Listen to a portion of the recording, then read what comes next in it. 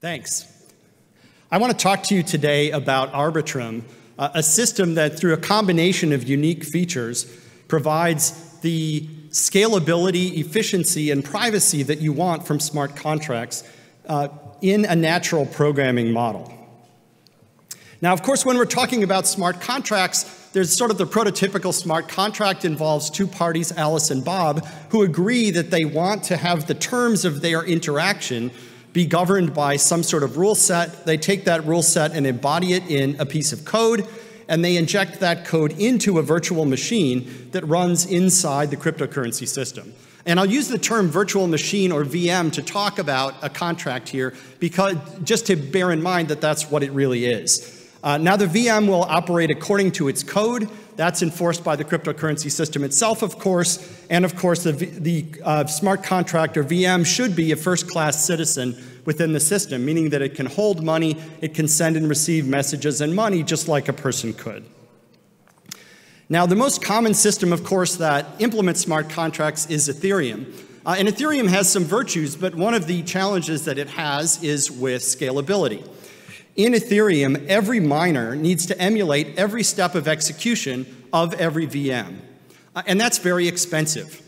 Uh, as a result, Ethereum charges gas to those who would want to advance the state of VMs, uh, and uh, in order to compensate the miners for the relatively high cost of, of, um, of all of that emulation. Uh, gas is necessary because of that high, high price and the complexity of contracts, both in terms of computation and storage uh, is capped by a global gas limit. The global gas limit is necessary to make sure that we don't overtax the capacity of individual miners to do all of that emulation. Also in Ethereum, all contract code and data is public. So the total throughput in Ethereum is limited to the number of steps that a single miner can emulate in one block plus a healthy margin of error to make sure that the miners have room for other work, such as, for example, mining. So one of the key questions is, can we scale smart contracts? And of course, I'm going to argue today that the answer is yes. Uh, now, just to be clear about what we're talking about scaling, uh, if we talk in the standard three-layer model where we have layer one that does consensus and layer two that implements smart contracts, and on the top layer three that implements some kind of application functionality. We're talking here about scaling uh, layer two, the smart contract layer. Uh, we're going to uh, talk about an approach that is compatible with pretty much any layer one approach you want to use. And so layer one scalability is a separate problem. We can work with anyone who has a good solution to it. And I'll talk later on about what we do in our first commercial implementation. So there are a bunch of alternative approaches to getting scalability. There's a huge uh, set of these, and I can't possibly hope to summarize them all in a, in a few minutes here. But let me just talk about some of the issues that some alternative approaches tend to have. So for example, approaches that are based on snarks or other kind of fancy zero-knowledge proof technologies uh, tend to have two types of problems. Uh, one type has to do with requiring a trusted setup for every contract, and that can be both expensive and also unrealistic from a trust point of view, because there may not be a party who is trusted to do that uh, trusted setup. Similarly, uh, SNARK or zero knowledge proof based systems, although they often do reduce the amount of work that needs to be done on chain, uh, often they blow up the, uh, the workload off chain because off chain proofs can be extremely expensive, often prohibitively expensive to generate. The second type of approach I want to talk about by contrast is incentivized verification, as in systems like TrueBit. And here the idea is that you are trying to induce through incentives parties to voluntarily check up on each other's computations, to check each other's computations for correctness. Uh, and one drawback of these systems is that your contracts state and code are necessarily public, so you don't get the privacy you might want. But also there are some serious incentive compatibility problems with this. And our academic paper from Usenix Security back in August um, uh, explains uh, at least one serious incentive compatibility problem that applies to TrueBit as well as many systems in this general category. Uh, and then third, you have some types of approaches based on state channels. And the simplest version of state channels assumes that you're going to get unanimous off-chain agreement on what a contract or VM will do. Um, and of course, the challenge here is how to deal with dispute resolution. So there are many approaches out there. We think all of them have problems compared to Arbitrum, and we'd be happy to discuss offline uh, how we contrast with things that I haven't mentioned here. Okay, so Arbitrum uh, makes smart contracts scalable and private in a practical way, and it does this by a combination of three different types of methods. First, we rely on protocol design. We have a protocol that moves almost all of the work off-chain, uh, and just a little bit of verification work on chain, but without requiring exotic cryptography to be done uh, uh, on or off chain. Uh, we also rely on incentives to push parties toward the lowest cost and most scalable approach to moving the state of a VM forward. Uh, and then finally, we rely on an innovative virtual machine architecture, which, makes, which helps, along with protocol design, to make the cost of dispute resolution extremely low much, much lower than in any other system that we know of. Okay, so let me dig uh, a bit more deeply into how Arbitrum works. Uh, and first, I want to remind you that we are not talking here about layer one, the consensus layer. There are lots of different ways to do the consensus layer. You can do proof of work or proof of stake type mining. You can have a central authority or some kind of quorum or BFT type system. Lots of ways to do that. The Arbitrum approach, approach is inherently agnostic as to this choice. So I will just use the generic term verifier to refer to whatever layer one technology you have. And so we're just going to assume there is a verifier that verifies the validity of transactions and publishes a log of accepted transactions. And we're going to build on top of that. That's going to be a pluggable module in at least the abstract design. Okay. Now, one of the key ideas in the design of Arbitrum is the notion of managers. So when you make a VM to implement a contract in Arbitrum, you give a list of parties who will act as managers for that VM. The job of the managers is to keep track of the state of the VM, to follow along as it executes, and to make sure that the VM is executing according to its code. Uh, and Arbitrum provides a very strong guarantee with respect to trust in the managers, what we call the AnyTrust guarantee. And that is that as long as at least one manager of a VM is honest, then the VM will execute correctly according to its code. Even if n minus one of the managers are colluding to try to get a wrong answer, the one honest manager can heroically force the VM to execute correctly. And so what that means is that you can trust that a VM will execute correctly as long as you trust at least one manager. So here's a simple example of a simple contract. Imagine a two-player game. Alice and Bob are going to play chess for a coin. Uh, they agree on the code of a VM, which receives alternating moves from them, makes sure the moves are legal, um, and determines when the game is over and then pays out the coin to whoever won the game. Now, in this scenario, one easy way to assign managers is to just make Alice and Bob the two managers for this VM. Alice now trusts at least one manager because she trusts herself, and similarly for Bob. Each of Alice and Bob know that there's one manager who will stand up for their rights to get the coin if they, in fact, have won the game. Uh, and so Alice and Bob are now happy and the rest of us don't really care. If Alice and Bob want to split up the coin some other way, that's fine with us. Alternatively, Alice might choose to outsource this. She might outsource the job of being a manager to her trusted friend. She might decide to hire three manager for hire services uh, on the assumption that at least one of them will behave honestly. You can design whatever set of managers you want, as long as everyone who has a stake or interest in the contract trusts at least one of them. Okay, now, how do the managers cooperate off chain in order to advance the state of a VM? Arbitrum creates incentives that push the managers toward agreeing unanimously about what a VM will do. And if all of the managers do agree off chain on what a VM will do, then the system uh, will accept the assertion.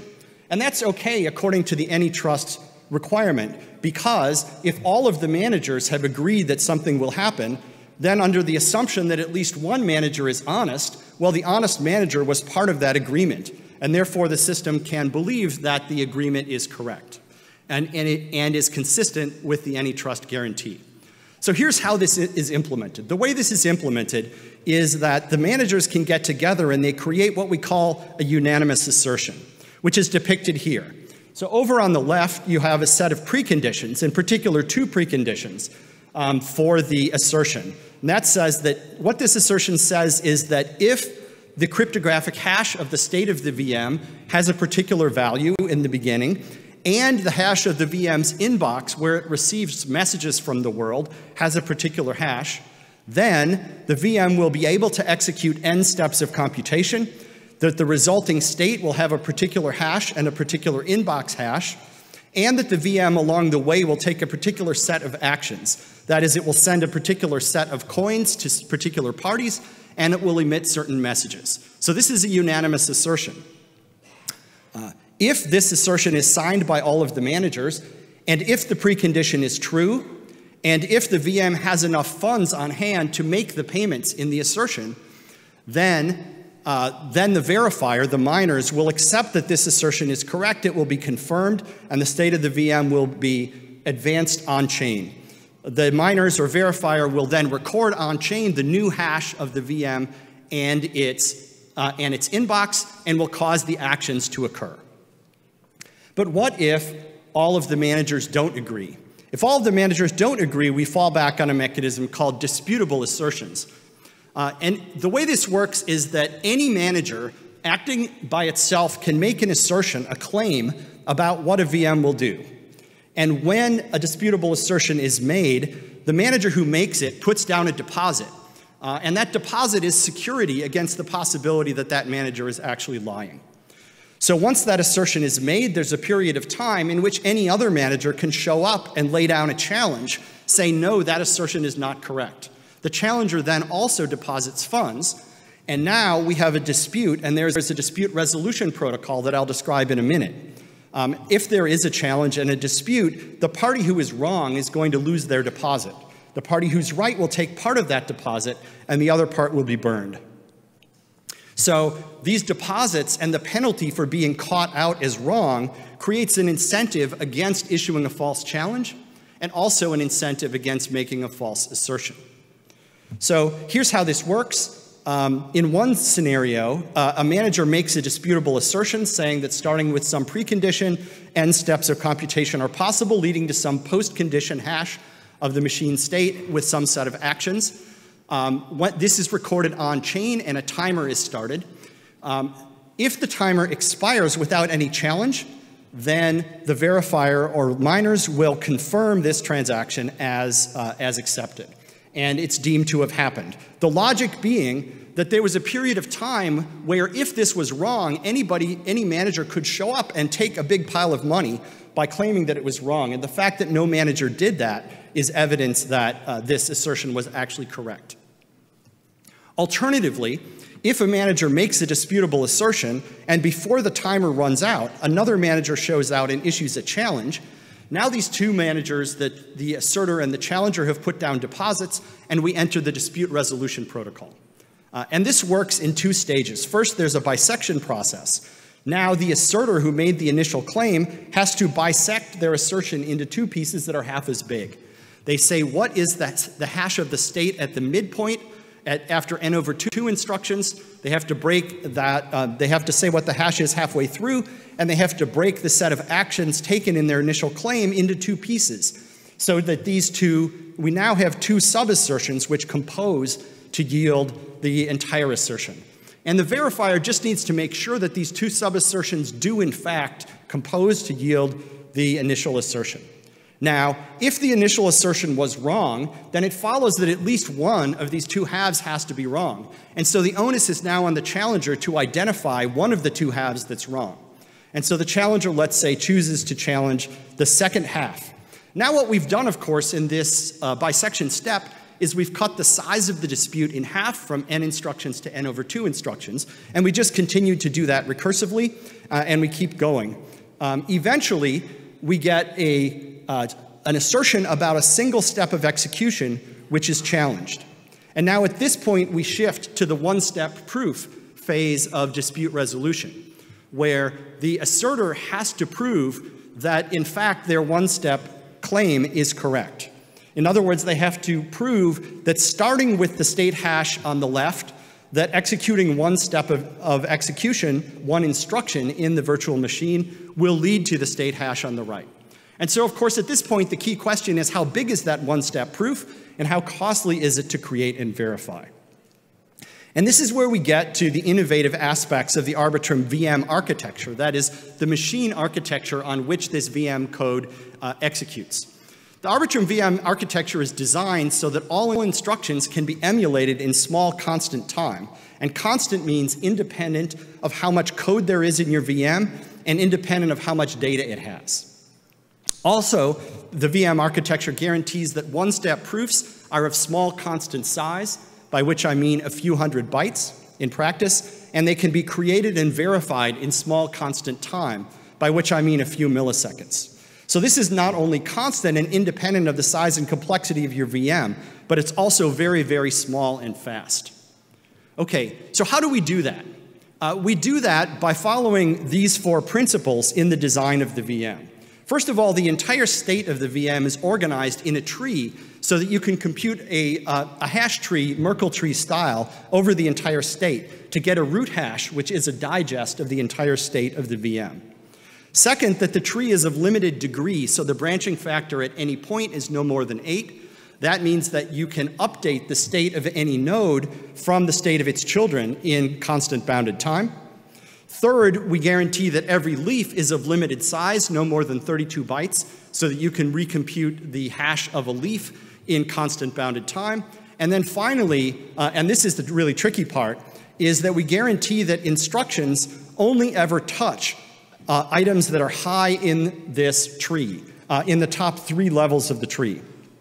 Because all of these things are true, it's always possible to make a one-step proof by unwrapping up to only, uh, by unwrapping only a little bit of the tree up near the top to reveal what is the underlying data and, and stub hashes for part of the Merkle tree. And that will be enough for the verifier to uh, execute one step of, of computation and update, compute the new updated state hash. So to understand why this is hard, let me talk about why these things are not constant in, in size or time to verify in a conventional architecture. So here on the left, I show how memory might be implemented in a conventional VM architecture. Memory would be implemented as a flat uh, array shown at the bottom, and we're going to summarize it with a Merkle tree, which is constructed on top of that by a VM emulator um, of logarithmic height. And so in order to, if we have the a root hash of that Merkle tree, and we want to demonstrate that the cell at the bottom with the 5 in it really should be a 5, then we need to exhibit everything that is, uh, that is shaded in this tree, and actually also the round node in the bottom right. Uh, apologies for leaving that out. Uh, this is a logarithmic amount of stuff. Uh, and therefore, it, um, anything that reads or writes that 5 is going to require a logarithmic amount of work uh, and unwrapping, the, exhibiting the Merkle proof that that leaf is a 5 will take logarithmic time to create and check. Similarly, over on the right, uh, where we're talking about code, now we have similarly a flat array of, of instructions in a traditional, in a conventional architecture, and a program counter that's an index into it. And to prove that the instruction under the current program counter is, let's say, a read instruction, also is going to require logarithmic time to do and uh, logarithmic space to represent um, for the same reason as on the left. So how do we get around these, uh, these logarithmic factors and achieve small constant time and space for both of these functions? We do that by changing the VM architecture. Let me talk first about how we handle memory. The way that memory is uh, organized in the Arbitrum VM architecture is that instead of having a large flat memory, we organize memory as a set of fixed size blocks that we call tuples. And a tuple can contain other tuples by reference in a, distribu in a distributed acyclic fashion. Uh, the result is that the units of memory are all of constant size. And if you want to implement something like a large flat memory or some other data structure, that has to be implemented in software within the Arbitrum virtual machine.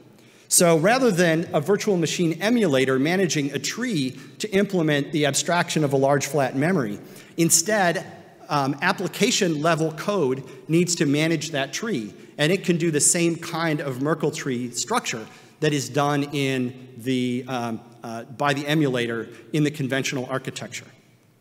Now, of course, uh, you, uh, application programmers don't want to do that, so you want to encapsulate that inside a library, and we provide a library that does that. So instead of executing a memory read instruction in a conventional architecture, you instead call a library to make a read to the large flat memory abstraction in the Arbitrum world. So you might think, well, that isn't that more expensive, but it turns out it's not, and here's why. The reason is in a conventional architecture, you can do a read in one instruction, but that instruction takes logarithmic time to implement and prove. On the other hand, in Arbitrum, it takes a logarithmic amount of time, uh, instructions, because you have to walk or modify uh, a, a sort of Merkle tree. On the other hand, each of those instructions takes constant time to emulate, prove, and verify. So the cost of verification and emulation is actually the same in total um, over the execution of your code. But in a conventional architecture, to make, do a one-step proof, it takes logarithmic time and space to do a proof and verification, whereas in Arbitrum, we get it down to small constant um, uh, size and uh, proof and verification time. So that's the improvement. Proving gets faster, and proving is the thing that matters for scaling because proving has to be done on-chain. What about instructions? We also changed the way that, that instructions and code execution are implemented. Instead of storing the code in a list or sequence or a flat array, as in a conventional architecture, code is stored in Arbitrum in a sort of stack data structure. Instead of advancing the program counter to move to the next instruction, we instead pop the instruction stack to get the next instruction that the machine is supposed to execute. That still gives you a sequence of instructions, but you can do it in small constant time.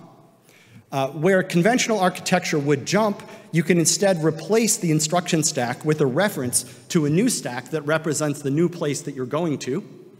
Instead of when you would want to call a function in a conventional architecture, you would instead push a reference to the current instruction stack onto a sort of call stack. Uh, and because all these things happen by manipulating uh, immutable references in the Arbitrum uh, VM architecture, all of this happens also in constant time and uh, to emulate. So what, is, what does, um, so what does a, a, one-step proof actually look like? Let me give you an example. Uh, this shows the top part of the Merkle tree that represents the Arbitrum VM state. Um, there's a state root, and the state root is what gets encoded on chain. Suppose I wanted to prove that for a certain hash of the state root, that, uh, that executing um, one instruction would lead to some other hash. And suppose that it happens to be the case that the instruction that, that is executing here is an add instruction. Well, this shows how much of the Merkle tree needs to be exhibited in order to, uh, uh, in order to allow a verifier to verify this proof. Um, the, uh, we need to exhibit the hashes of the five boxes at the bottom here, and the verifier needs to make sure that they hash together to yield the root hash. We then need to open up the instruction stack to show that the top of it is in fact an add instruction, followed by something whose hash we reveal but isn't, um, is, isn't needed in order to do verification. Similarly, we would then reveal the top two layers of the data stack to show that the things at the top are, let's say, a 5 and a 3, followed by something whose hash is revealed, but which isn't relevant to this proof. The other three parts of the, of the Arbitrum virtual machine, the call stack, static value, and registers, uh, don't need to be unpacked because they are not affected by the add instruction.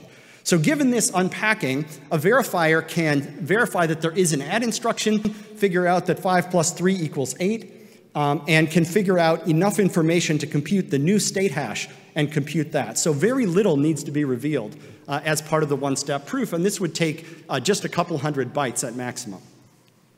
Okay, so that's how we, Arbitrum gets extremely efficient and scalable execution of smart contracts. How do we get privacy? Uh, well, the fundamental uh, fact about privacy in Arbitrum is that the state of a VM is revealed only to the VM's managers. The managers need to know the state of your VM, but nobody else needs to know. All that appears on chain is saltable hashes of the VM state, and because they're saltable, uh, they don't need to reveal anything about what's really going on inside the VM. The number and timing of the steps that are executed might be revealed if you're doing disputable assertions. Um, and of course, all of the publicly visible actions of the VM, such as messages it sends or currency that it sends or receives, has to be recorded on chain because everybody needs to be able to see those things. But that's all. If you trust your managers to maintain the privacy of your VM, then your VM, then the state of your VM beyond these things at the bottom of the slide will not be revealed to anybody. Okay, so we built an academic prototype of this. It is described in our paper in Usenix Security back in, um, back in August. Um, it consists of a VM emulator, an assembler, and loader that lets you write uh, assembly code uh, um, in, a, in, a natural, uh, in a natural programming model and compile it to run directly on the Arbitrum virtual machine. Um, there's an honest manager component which makes and defends assertions and does the job of an honest manager. Uh, the implementation supports pluggable consensus algorithms, and we also implemented an Arbitrum standard library, which provides a bunch of facilities that application programmers will want, such as the abstraction of a large flat memory and a bunch of other useful data structures. That's the academic prototype. The first commercial version of this, which is under development now, uh, is built to operate on top of Ethereum. It interoperates with Ethereum. That means that you will be able to compile VM code from Solidity. You'll be able to take Solidity code, cross-compile it to run directly on the Arbitrum virtual machine. Uh, VMs running on this version of Arbitrum can handle, can own, and transfer Ether or any other ERC20 or ERC721 token that exists in Ethereum land. Uh, and, so you, and so it should be relatively straightforward to take a contract that's designed to run on Ethereum and move it onto Arbitrum, get interoperation and much better performance and lower cost, as well as better privacy. Uh, there's an Arbitrum token, which we call ARBs, and those are used for the deposits that managers need to put down in order to participate in the protocol. But everything else you do can use whatever token you want. Uh, and this, uh, this commercial version is in development by Offchain Labs, our startup, now. So to give you an idea of how much scalability you can get, uh, we implemented a, on our academic prototype a contract to do iterated hashing. It does iterated computation of SHA-2 hashes, um, and within a single VM uh, running on an ordinary laptop, we achieve almost a million SHA-2 hashes per second within a VM. Um, and by contrast, um, on uh, native code on the same machine does about 1.7 million SHA-2s per second. So an Ethereum, so an Arbitrum VM uh, for this application gets more than half the performance of native code uh, running on the same platform.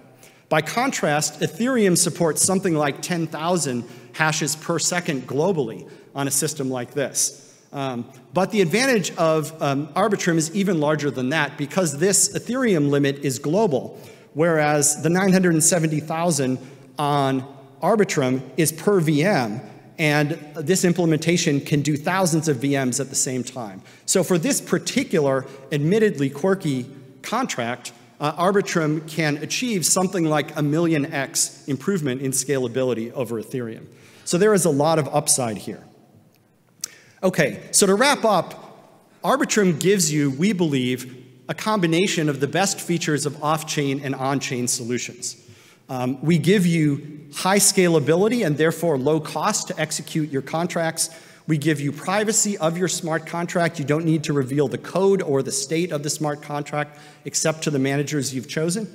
And we give you a very natural model for writing the code and porting code from, exist from the existing Ethereum platform. We do this with a unique combination of protocol design, incentive mechanisms, and virtual machine architecture. Thanks.